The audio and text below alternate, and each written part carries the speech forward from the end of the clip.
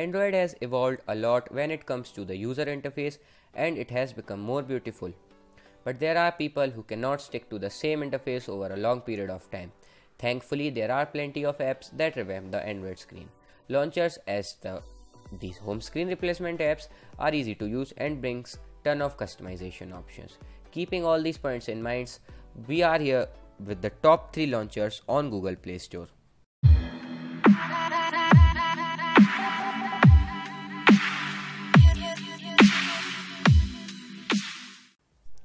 What's up guys, this is Rounak from Tip2Tech and in this video we are gonna talk about the top 3 launchers that you can use to customize your Android phone.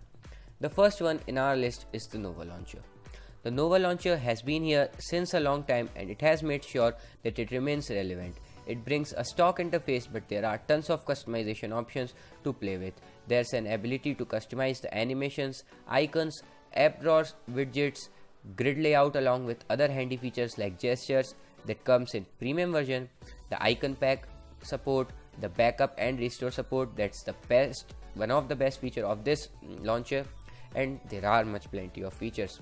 Along with the features, Nova Launcher is fast and fluid and while testing it we did not feel any lag at all.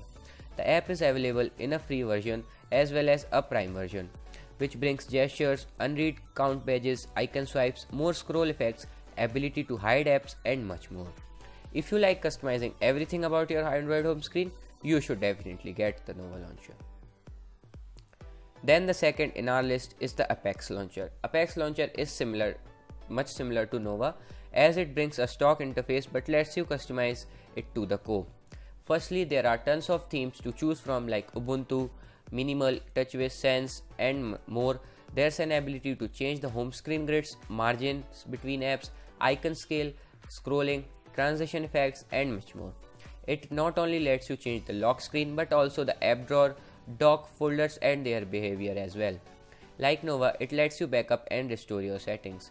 It is available in a free version as well as a pro version which brings more of everything, more drawer actions, more gestures, more effects, etc. The best thing about Apex is its ability to run smooth and fluid even after tons of customization.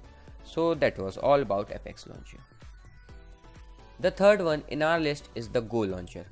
Go Launcher brings all the features you expect in a powerful launcher app. The launcher brings tons of free and paid themes, wallpapers, App Center, which features various apps and games. There are options to change dock settings, indicators, grid size, transition effects, icons, font, etc., along with additional features like gestures, app lock, backup and restore, and a notification toggle.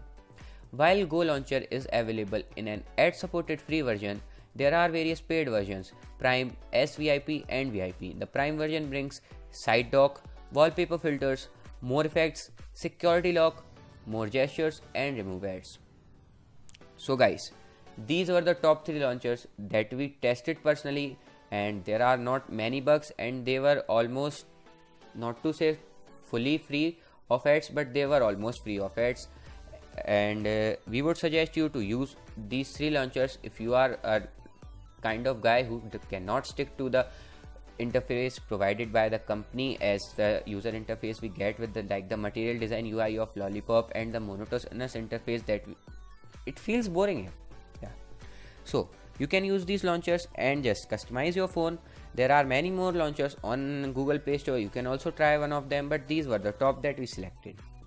We will be back with more videos related to icon packs, the best wallpapers, the ringtones, etc. etc. So for that, stay tuned to our channel. So guys, I hope you liked this video. Give this a huge thumbs up. Comment down below if you have any queries or questions. Do hit the subscribe button and press that notification bell. So whenever we upload a video, you never miss them. So that's me Rounak signing off and I hope to see you guys in the next one. Till then, keep exploring.